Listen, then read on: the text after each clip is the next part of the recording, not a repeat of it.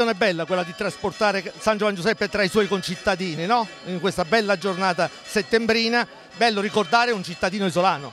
Eh, certamente, insomma, chiedere la sua intercessione e soprattutto permettere di, di pensare insomma, anche alla sua bella vita che ha, che ha svolto per il Che ci Signore. benedica e lasci frutti ancora oggi. Certamente, certamente. sì.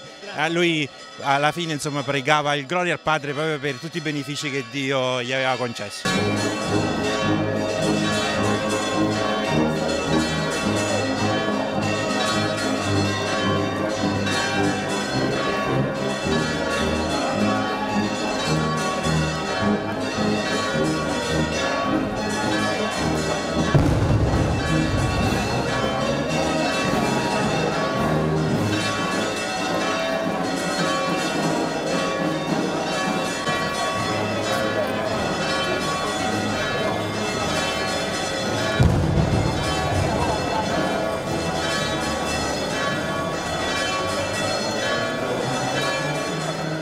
Il nostro caro San Giovanni Giuseppe ci dice proprio questo, che essere santi, la chiamata alla santità è per tutti, per noi essere santi significa proprio viverla, questa parola.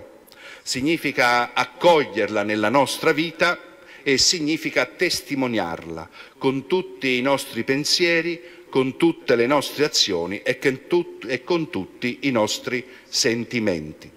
È quello che credo ci chiede anche Gesù nel Vangelo di questa domenica, nel Vangelo che abbiamo ascoltato, il Vangelo di Marco, dove mette in guardia, ecco nelle sue parole, ecco mette in guardia da una fede che diventa soltanto una osservanza di norme esteriori. Amiamo il Signore, Vogliamo vivere come Maria, accogliendo la parola di Dio nella nostra vita? Vogliamo vivere il cammino della santità come lo ha vissuto e come ne è testimone esempio il nostro fratello San Giovanni Giuseppe? Ecco, allora siamo chiamati ad amare Dio e il prossimo, così come il Signore ci chiede, perché amare il prossimo significa farlo entrare nella nostra vita, vuol dire considerarlo puro, vuol dire accoglierlo nella mia esistenza. It's